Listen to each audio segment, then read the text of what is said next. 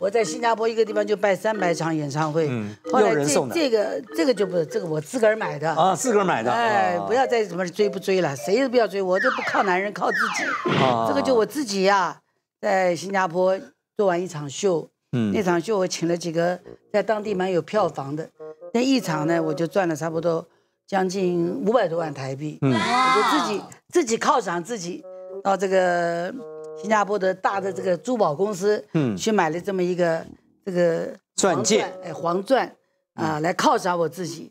哎，你为什么称它是黄钻？意思是戒台是黄的，是吧？对对对，哦啊，那也不能称黄不是，钻啊，这还是白钻啊啊！黄钻是彩钻才叫黄钻啊是是。那要是白钻太黄，那就不值钱了。这个我们主持人比我内行，但是他常常 你一说黄钻，我们说你太谦虚了。这明明就挺白的嘛。是是是是是好，给钱老板看一下我们来看一下，我们来看一下。哦，那时候买多少钱啊？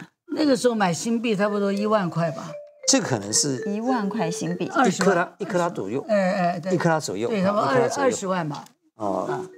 这颗钻哦，没有 GIA 证书，对不对？